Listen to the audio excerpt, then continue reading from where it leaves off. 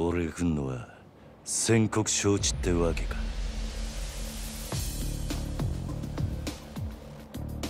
堂島組の桐生一馬だ東郷クレジットの社長に俺をはめた礼を言いに来た。うちの社長はあんたに会う気はありませんよ。桐生さん。じゃあお前ら半殺しにして会う気にさせてやるこの人数相手にあんた一人でか？ああ。こっちはいい加減爆発しそうになってんだ。さっさと道上げねえか！チンピラ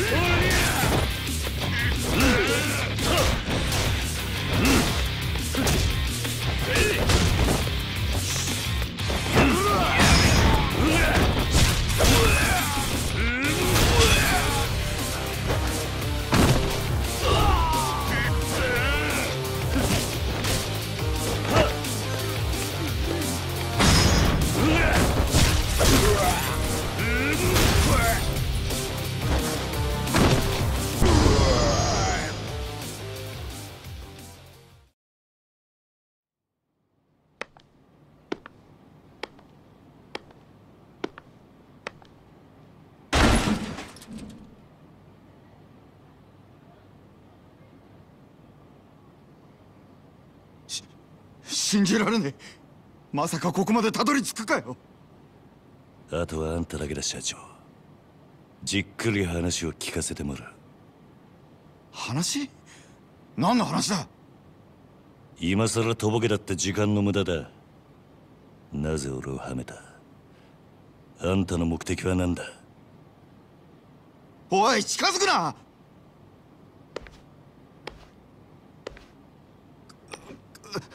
わ分かった。全部話す。だからちょっと待ってくれ。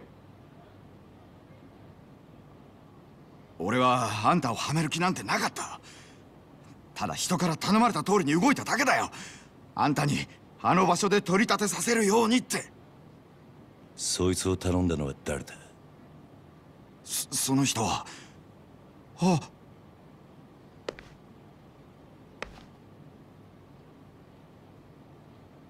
クゼの兄貴。まさかあんたが俺を？何の話だ？ねえ社長さん。ええ桐生お前何やってんだあ？殺に実するように言ったはずだろ。寝ぼけたことやってんじゃねえぞ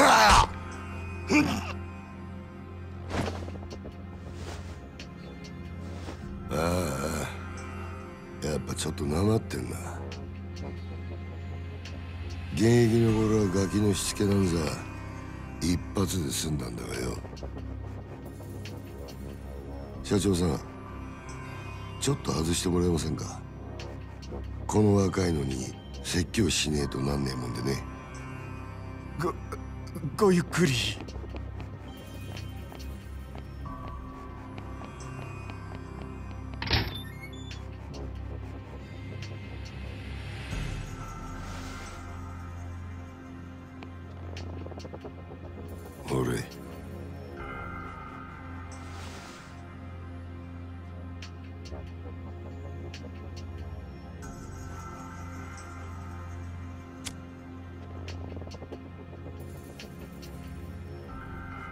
うめえぞそれ。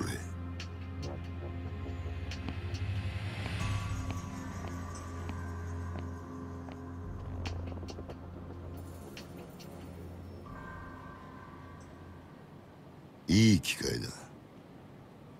お前とは一度腹割って話してえと思ってたからよ。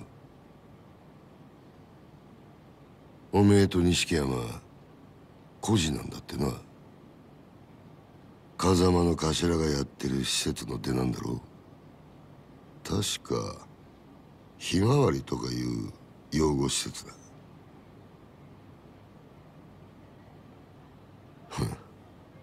極道なんてまともに育ったやつの方が少ねえ。孤児だからって恥じる必要はねえぞ。ただな風間の頭もえげつねえ真似をするよな。どういう意味ですか？拾ってきたガキに育てた恩着せてよ。今じゃ立派にあの人の玉よけになってるじゃねえか。おめえと錦山。頭のためなら命も惜しくねえってよ。こういうの洗脳っていうのか？そろそろ本題に入ってもらえませんか？クゼの兄貴あんたの話はさっぱり先が見えねえ。桐生お前風間の頭をスパイしろ。何？殻の一粒の話はしたな。それさえ手にすりゃ俺が次の若頭。堂島組の跡目よ。だがそのために必要なあの土地のある情報ってやつを檻の中の頭が握ってやがる。ある情報？ああ。お前そいつを頭から探り出せ。うまくやりゃ組手の将来を俺が約束してやる。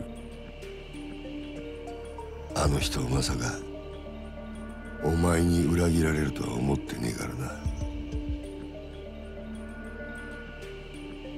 構成員2万5千の登場会。その直系堂島組でのし上がったとなりゃ大した出世だ。それに例の殺しの真犯人も渡している。やっぱりあんたが俺をはめたんだな。さあな。ただこの話を蹴りゃおめえは確実に無正義だ俺につくか。もう先のねえ風間につくか。好きな方選べ。だが返事は今だ。この場でしろ。クゼな兄貴。なんだ？あんたは賢いつもりで立ち回ってるんだろうが。全然器じゃねえのこともおやっさんのことも。あんたは何も分かっちゃいねガキが。この俺を敵に回すのか？本当にその覚悟があんだろうな。え覚悟ならありますよ。それが極道ってもんでしょうが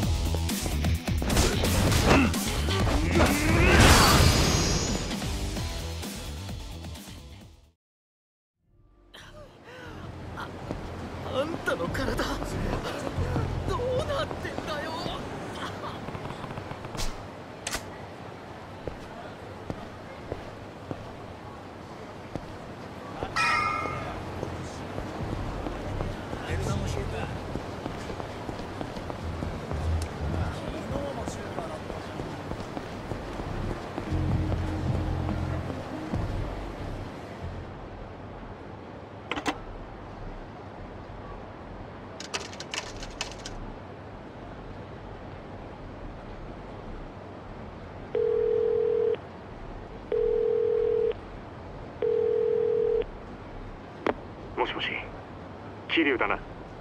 錦山だああやっぱりお前からの呼び出しだったんだな錦。お前今どこにいる？風間組の事務所だ天下一通りの。風間組？なんでお前そんなとこに？今柏木さんと会って話してる。なんかいい知恵貸してもらおうと思ってよ。なんせ柏木さんはあの風間のおやっさんの片腕だ。なるほどな前の方はどうだったんだもう堂島組の事務所からはとっくに出てるんだろああ。だがいろいろあった。いろいろそいつは直接会ってから話す。分かった。なら俺は柏木さんと風間組で待ってるからすぐ来てくれ。実はなお前も柏木さんの話を聞いといた方が良さそうなんだ。お前殻の一坪って聞いたことあるか？久世の兄貴からさっき聞かされたばかりだどうやら柏木さんは何もかもお見通しらしいな。俺もすぐそっちに向かう。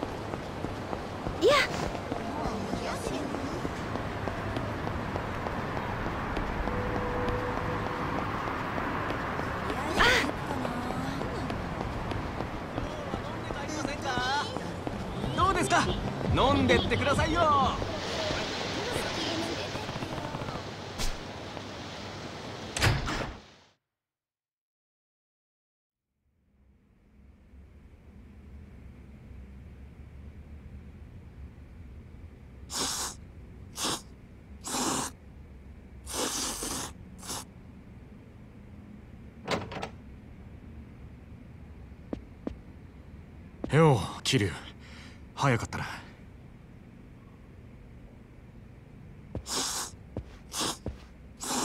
すいません柏木さん。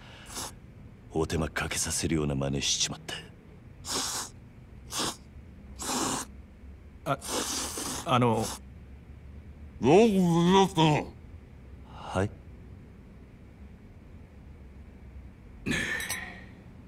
よく無事だったなお前が本家から呼び出されたってとこまでは錦山から聞いてる。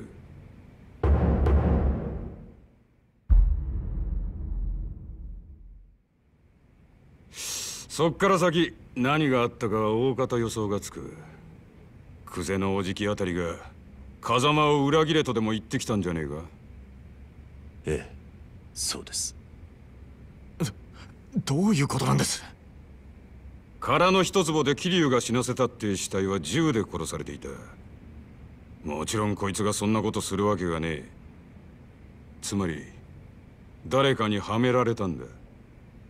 たはそれもっと早く言ってくださいよ。俺はもう本当に兄弟が人殺しになっちまったのかと。錦。面倒なことになったな桐生。とにかく久世と何があったか全部話せ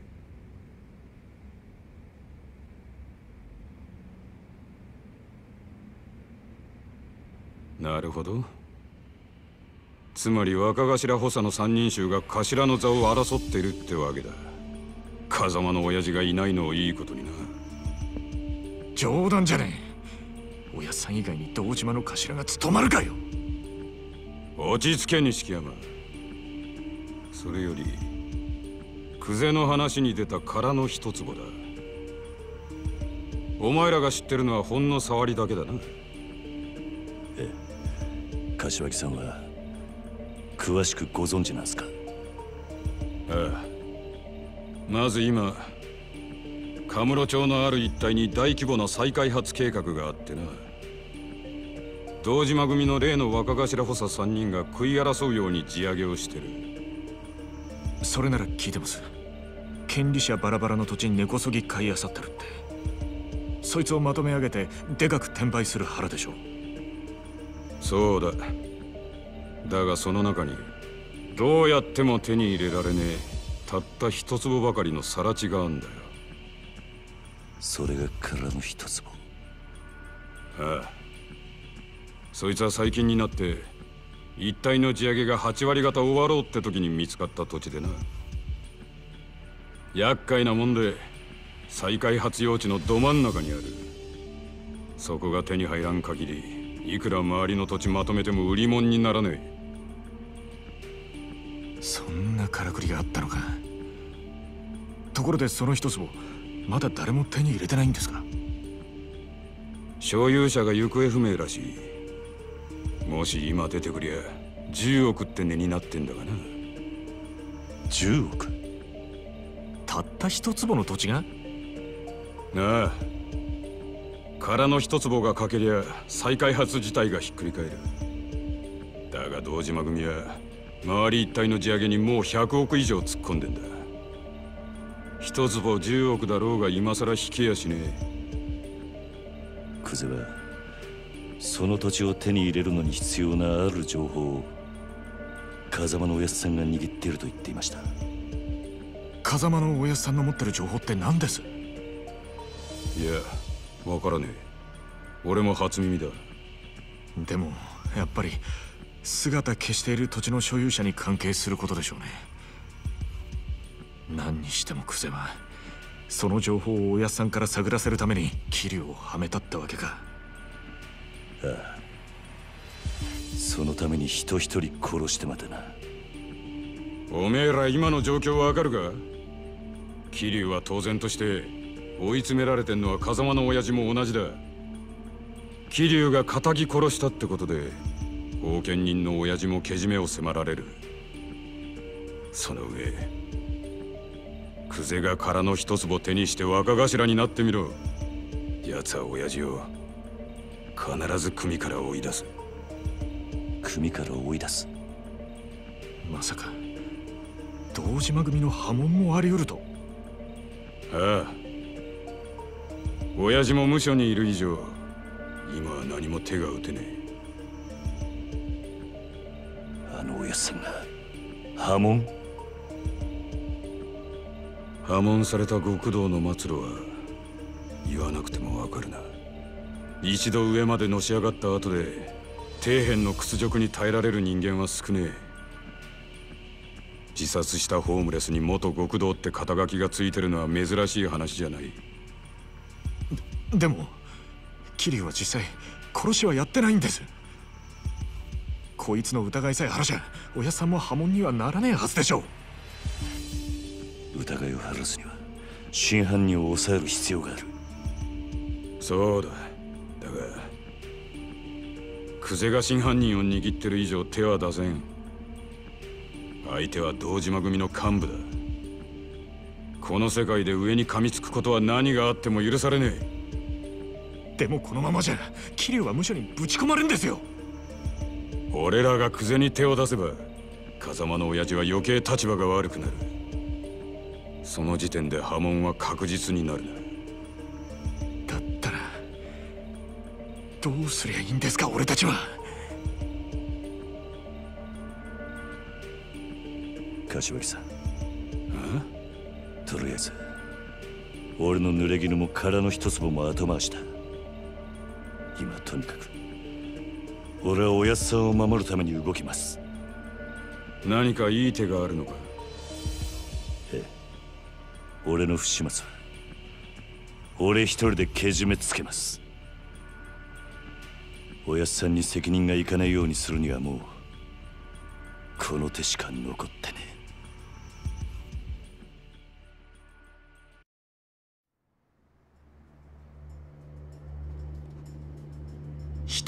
けじめつけるって何する気だ？桐生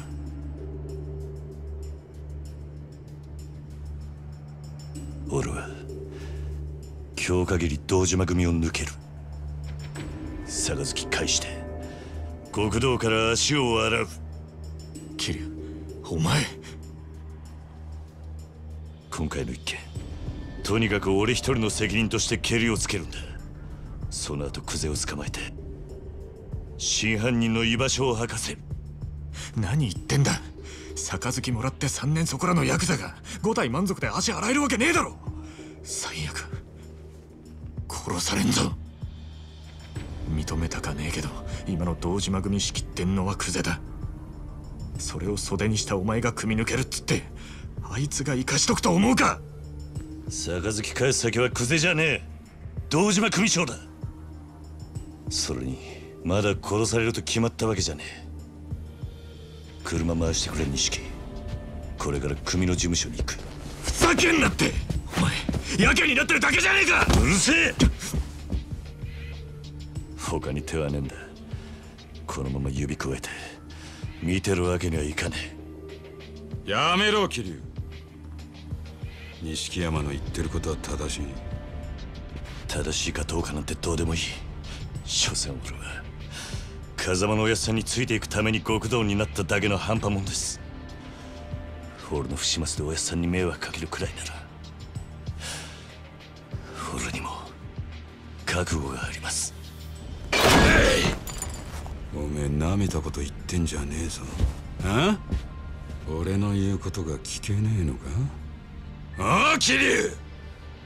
ええたとえ風間のおやっさんが止めたとしても俺は行きます。こんな。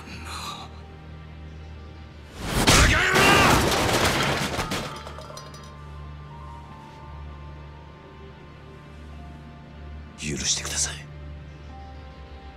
柏木さん。錦車頼む。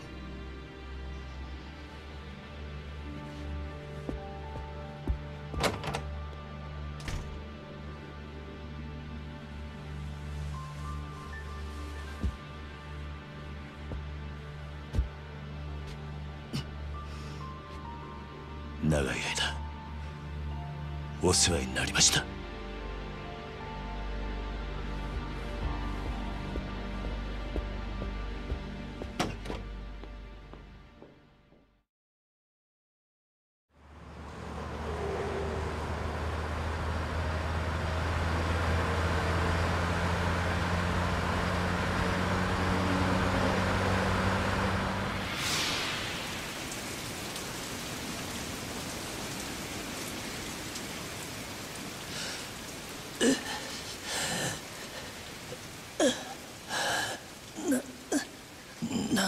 おやつ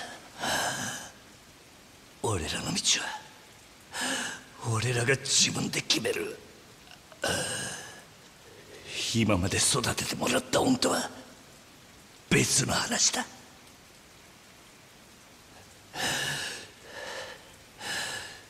今さら善人ぶんなよ。あんたもヤクザなんだろ。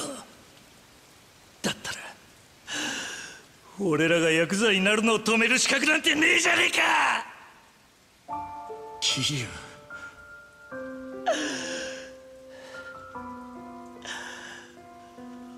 オ俺たちはずっとあんたの背中を見て育ったんだ。いい車乗って肩で風切って周りの人間に頭下げられてそういう人間になりてえって。俺たちがそう思っちゃいけねえのかよ！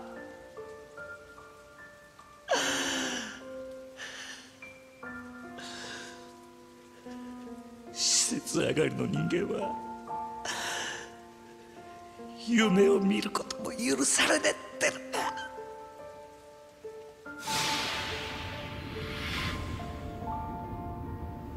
なあ今お前何考えてた？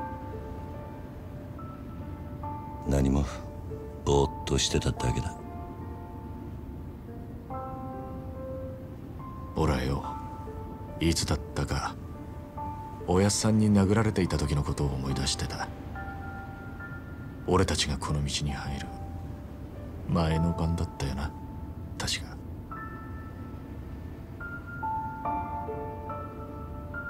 てっきりお前も同じことを思い出してるもんだと思ってたよ。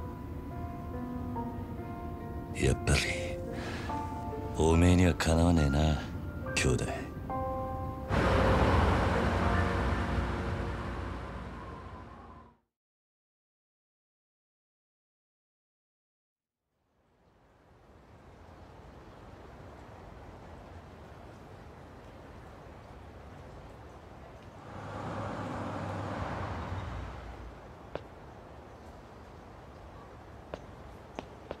見慣れたはずの事務所が今日はやけに不気味に見えるな。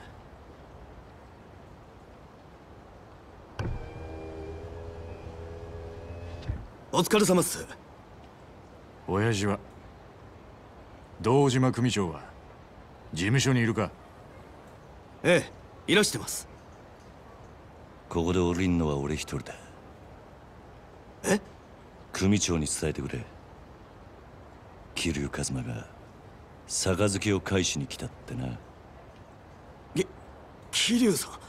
え本気っすか？ああ。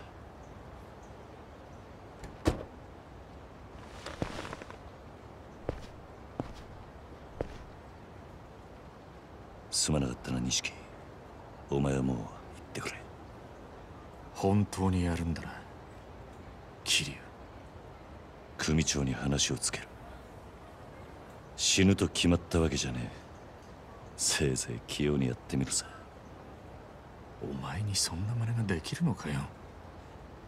バカ野郎が。またな兄弟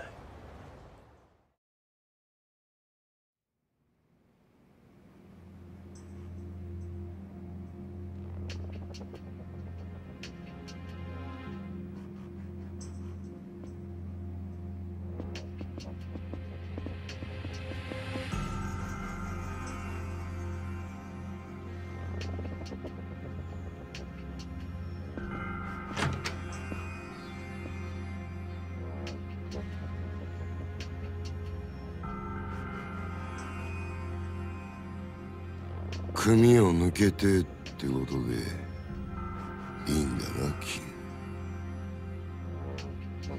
はい。組長に波紋のお願いに上がりました。お取り次ぎ願います。クゼの兄貴。ああああ。残念だったな。土曜の8時じゃダメだ親父のお気に入りのテレビの時間なんでな話だったら代わりに俺が聞いてやるよ。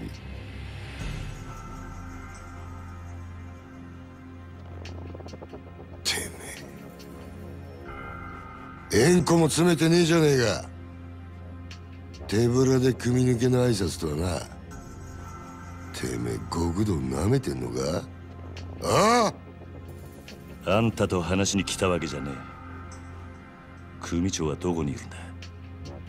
今現場で組み仕切ってんのはこの俺だ。口の利き方には気をつけろよ。あ。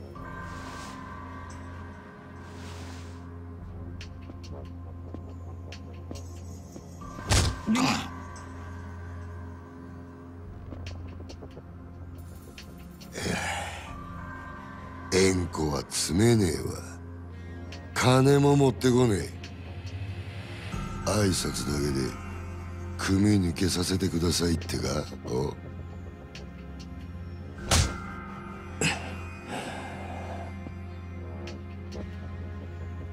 俺学生気分で敷居またげるほど。極道の世界甘くねえぞこら。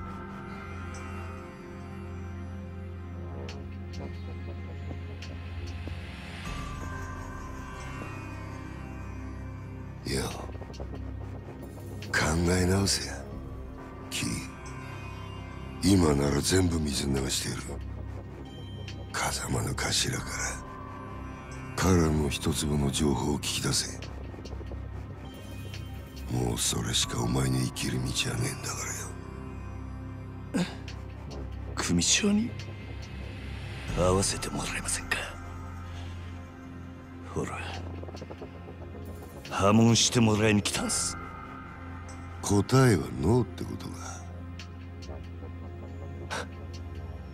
そうか。いじゃあもういいわてめえは使い物にならねえってことだな。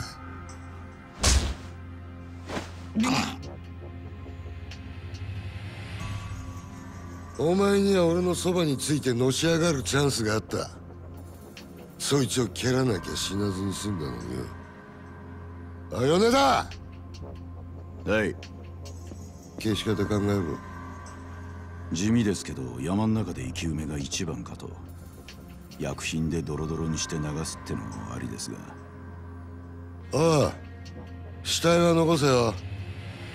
後々こいつの死体が見つかった方がいいんだ堂島組は身内のしつけには厳しいって方が本家でも評判も上がるってもんよほら。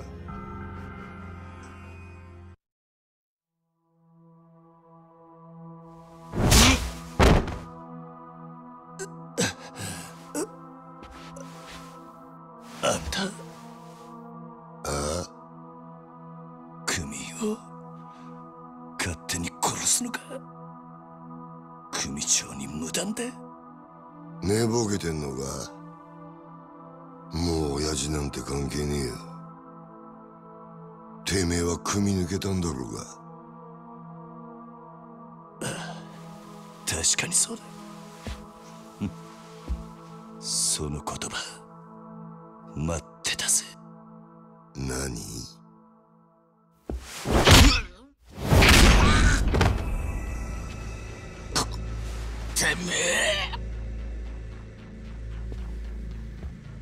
てめえ兄貴分に向かって何しやがる？兄貴分だと？俺はもうこの組の人間じゃねえ。あんたさっきそう言ったはずだ。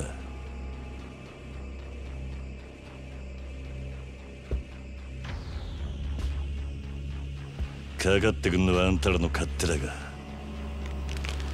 こっちも遠慮なく手出させてもらう。クゼの兄貴。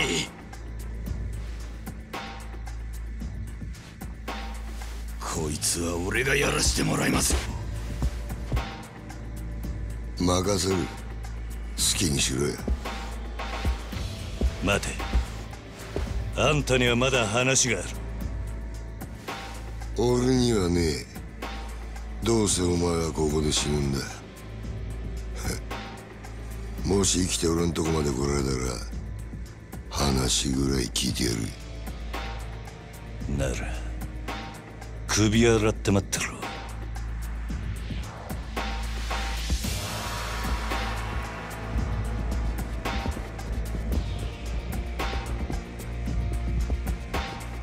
覚悟はいいな。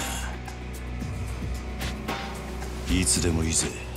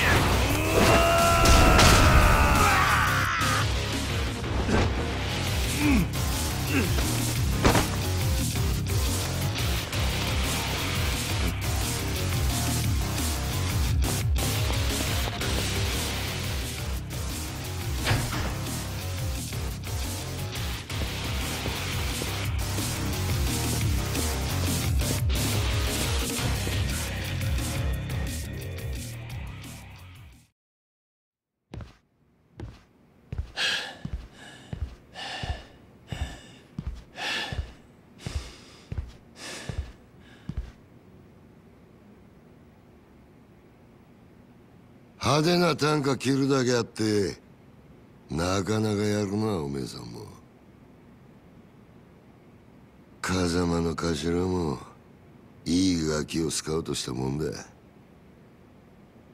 俺がまだボクシングやってた頃におめえと会ってたらプロモーターになりたいぐらいだ。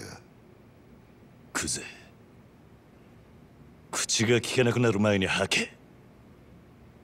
殻の一粒の真犯人は誰なんだ？どこに隠してる？ガキが調子に乗りやがって。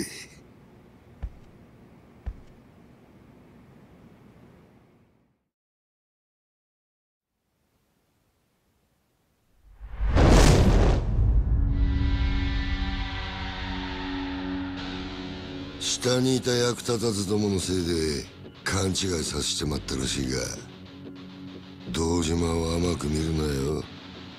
キリ。お前はもうこの手で直接やらねえと気が済まねいつまで能書きたるてんだ。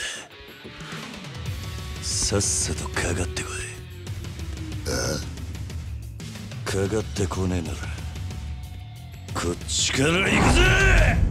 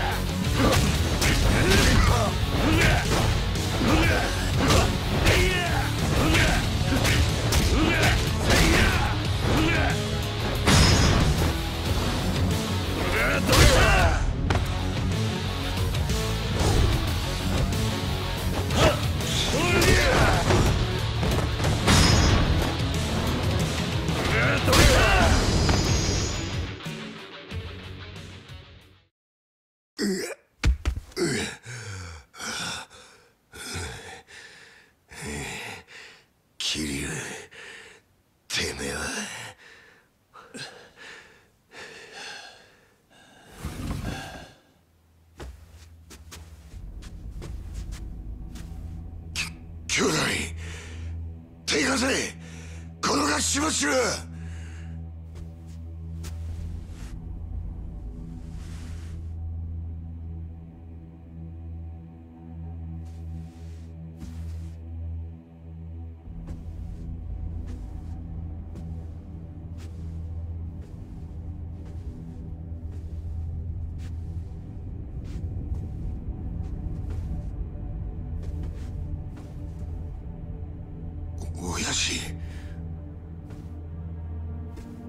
堂島組長。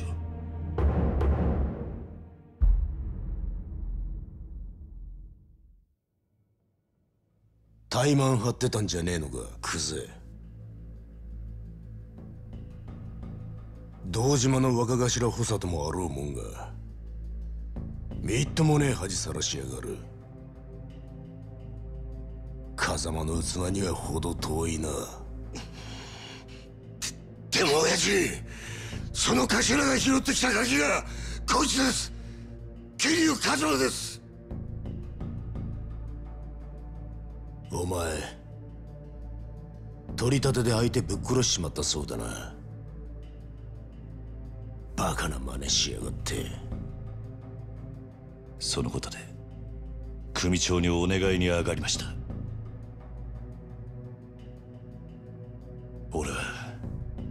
誓って殺しはやってません。ですが疑いがかかってる以上組に迷惑をかけられません。だから俺を破門にしてください。虫がいいこと言ってんじゃねえぞバカ野郎。親父こいつは俺がきっちりけじめつけます。これ以上親父に迷惑かけませんから。お前仇に手かけんのか？桐生はお前の裁量で組抜けさせたんじゃなかったのか？そんなこといや俺はしてません。親父に向かって嘘はよくねえな。兄弟。あわの俺もはっきり聞きました桐生はもう組を抜けた人間だ。それを殺すのに親父の許しはいらないそう言ってましたよねクゼの兄貴。てめえら。クゼ。これ以上無様さらす気か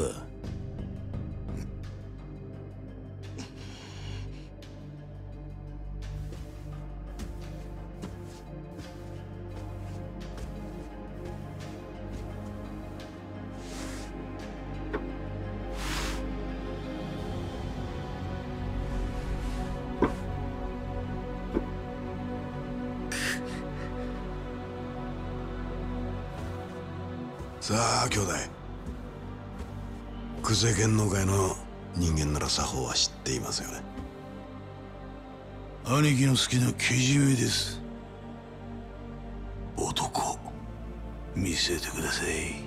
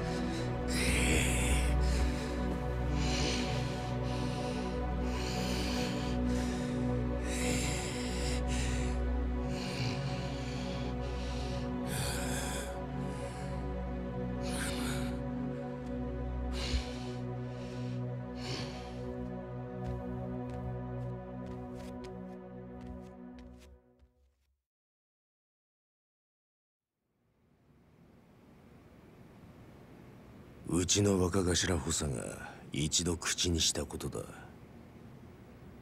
桐生一馬今日限り堂島組を破門とする。堂島組長。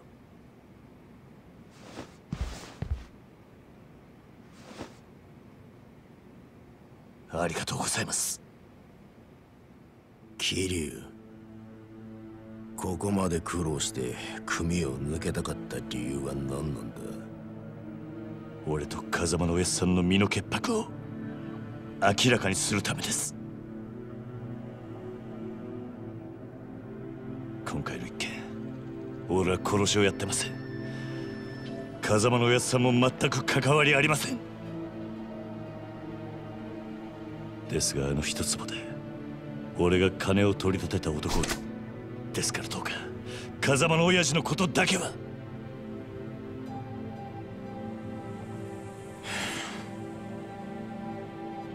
さあ飯でも食うか。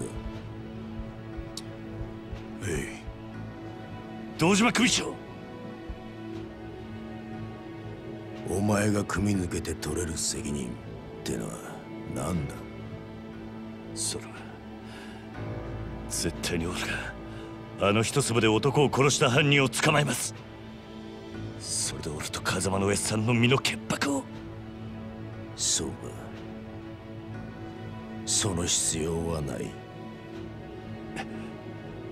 でも犯人を。犯人？そんなのはサツが勝手に探す。お前はもう仇だ。それじゃけじめがつきませんけじめだからはい。少なくとも自分があの場所で追い込みかけなければひょっとしたらこんなことには。だから波紋を申し出た。そうです。安心しろ。けじめならきっちり取ってもらうさ。え。風間が拾ってきたガキ。桐生お前の不手際であの土地に手が出しづらくなっちまった。その責任は風間に取ってもらう。お前もさっきまで極道だったんだ。この理屈はわかるだろう。堂島組長極道は一度身引いたらしまいだ仇として幸せになる道でも探すんだな。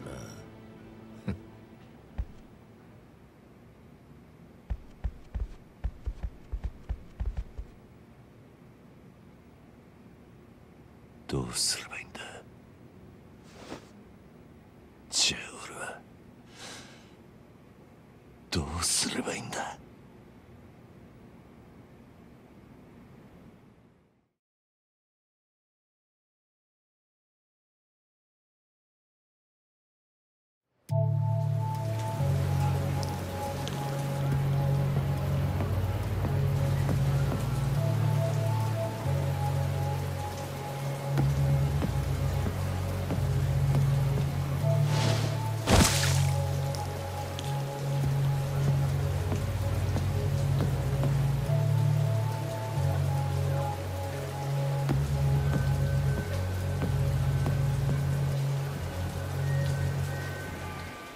てますか？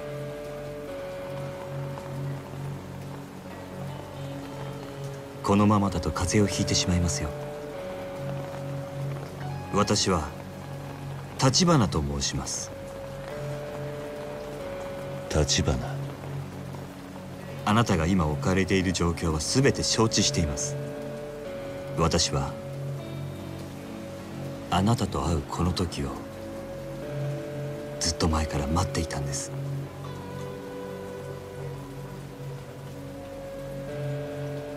少しだけ話聞いていただけませんか？桐生一馬さん。